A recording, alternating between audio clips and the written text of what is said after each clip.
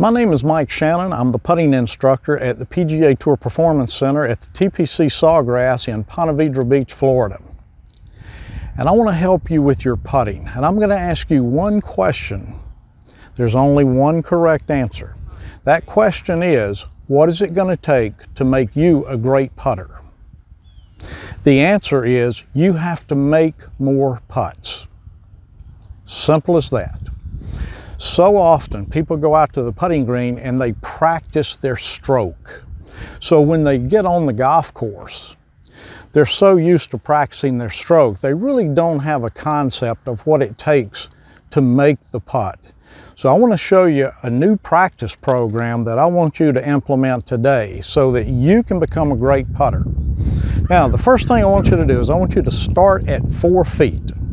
I want you to use a ball that's got some lines on it and I want you to line the ball up to your target set the putter in behind the ball and then what I'm looking for is one thing. I want to see the ball turn end over end.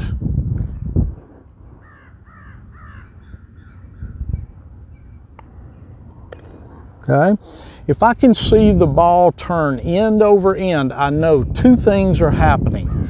Number one, I know that my putter face is square. If my putter face is open or closed, I'm not going to get that roll.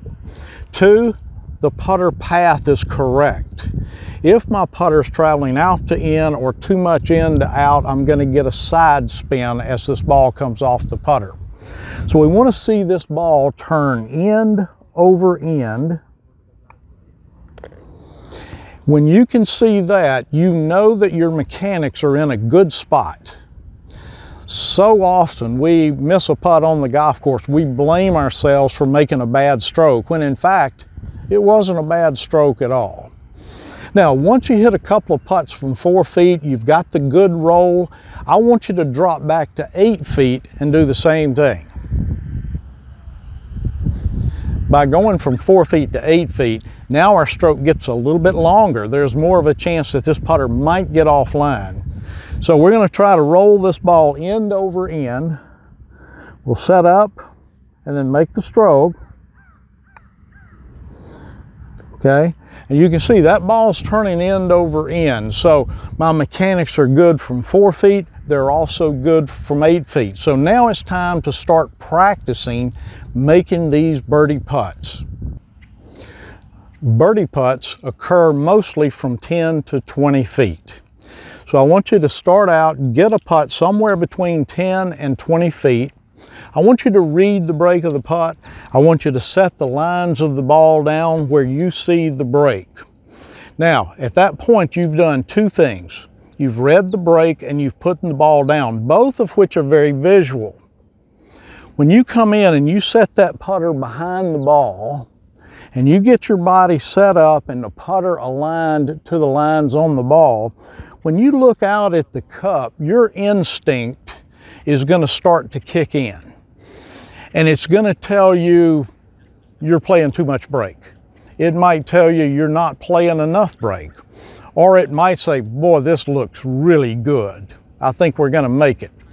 So I want you to listen to your instinct. If you ever have a conflict between vision and instinct, always go with your instinct. Your instinct will not let you down. You really can't trust your sight. So we're going to set up. We set the ball behind the, uh, the putter behind the ball and we get lined up. Now my instinct is telling me that we're pretty good right here. So I'm gonna make my stroke, turn the ball over. You can see the ball turning over really well, but the ball missed. So if you miss, here's what I want you to do. Very important. Number one, I want you to ask yourself, did that ball turn over as I expected it to? It's either yes or no, and that ball did which means that I made a good stroke. Two, was my speed good? Yeah, my ball got to the hole, so my speed was good. Three, did I read it correctly? And the answer there is no, I didn't read enough break. Now, what you're going to find by asking yourself these three questions is that over a period of a week or two weeks, you're going to start to see patterns occur. And these patterns are going to help you pinpoint the part of your putting game that needs the work the most in order for you to make these putts. So the next putt, I'm going to add just a little bit more break to this putt. I'm going to do the same thing. I'm going to set up. I'm going to look out there and then I'm going to make the stroke. And again, the ball dropped underneath. So I've, I've made two putts. Both putts were underread. So that would be something that I would be really, uh, that I think is important because I need to read more break into my putts. Now, after you've done a couple of right to left putts, I want you to do some left to right putts. I've never seen a tour player yet who has a perfect read right to left and left to right. The reason for that is on a right to left breaking putt, your right eye's on the high side of the putt. On a left to right breaking putt, your left eye's on the high side of the putt. So when you go from one side of the cup to the other, your eyes literally switch places, which means you're not going to see it the same way. Now, you're going to be much better on one side of the cup than you are the other. And this is also a pattern that you're looking for. If you know you're better on a right to left breaking putt and your ball is laying off the green, you know if you can chip it into this area that's going to give you a right to left breaking putt, you've got a better chance of making that putt. If you chip it into an area where you're going to have a left to right putt, doesn't mean you can't make it, but it means you're going to have to work harder. So playing to your strength can actually take away a shot to a shot and a half around.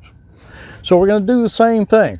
We're going to move over and we're going to give ourselves a left to right breaking putt. We're going to read it. We're going to set the ball down. We're going to come in. We're going to do just the same thing. We're going to roll the ball and see if we can turn it end over end. So once I'm set up and ready, all I'm looking for is this ball to turn end over end. And you can see that ball is really rolling well, but we missed. So going back to the questions, did the ball turn over the way I wanted it to? Yes, it did. Two, was my speed good? Yes. And then three, how was my read? Well, I overread it. So I'm uh, adjusted this ball. We're gonna set up again and we're just going to try to turn this ball over end over end. Now that time we adjusted too much so I missed low. But you can see that on right to left and left to rights, the issue that is starting to become a pattern for me is reading the putt correctly. Now what I want to do is give you some drills in all three of these questions so that you can start to make more of your putts. So let's say we've practiced for a couple of weeks and we're looking for our patterns and our big pattern seems to be difficulty in turning the ball end over end. Okay, one of the things that I like to use is a T3 putting arc. It's small enough to fit in your golf bag. You take it out to the putting green, line it up, put some tees down to hold it in place, and then just practice and keep your putter contacted with the putting arc. If you do, you can see how well that ball turns over. Okay, you can have a bad path with this, and this will help you focus a little bit more on your face angle at impact. And you can see just really good rolls there. So some work with the T3 putting arc is going to be a really good way to get you to turn that ball end over end. Your pattern tells you that the reason you miss putts is that you're inconsistent with your speed or you're leaving a lot of your putts short or long. So what you want to do is you want to go into your phone you want to download a metronome and you want to set that metronome at 76 beats per minute. 90% of all the players on the PGA Tour have a combined tempo and rhythm between 72 and 80 beats a minute, but 90% of those players have 76 as their combined tempo and rhythm. I want you to set your metronome at 76. Using that metronome, all I want you to do is putt. Now it's one, two, one, two, one, two, one, two. One, two, one, two, one, two. One, two, one, two. One, two, one, two, one, two. So you can see that by using a metronome, I'm better able to control my speed and my distance. Now, people ask me, is it the same for every putt? And it is, okay? If you have a 50 foot putt, your putting stroke is longer and faster. One, two, one, two. If it's a three foot putt, your stroke is shorter and slower. One, two, one, two. But the time element of both strokes are exactly the same. And when your time element becomes consistent, you develop feel. And that is going to help you control the speed and the distance of your putts. If your patterns dictate that a majority of your misses are due to misreading, well, we need to practice our, our reads. The first thing I want you to do, go out, get about a 10 foot putt, I want you to read the putt and I want you to put a tee down where you see the break. Then take a string, run that string over the top of the ball and over the top of your tee.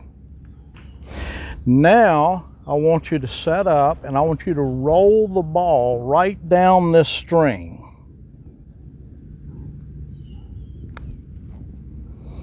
Now you can see right there that I underread the break of the putt, but I'm not going to let one putt dictate to me, so I'm going to do it again just to be sure. And I'm going to roll this ball right down the string, and again, I missed low. So it's pretty obvious here I have misread this putt. Well, what I'm going to do is I'm going to move this up just the string, and I'm going to take it to a point that I estimated what the misread was, but I'm not going to move the tee because that's my original read. Now we're going to go back to the start. We're going to put a ball under the string and then we're just going to put it again right down the string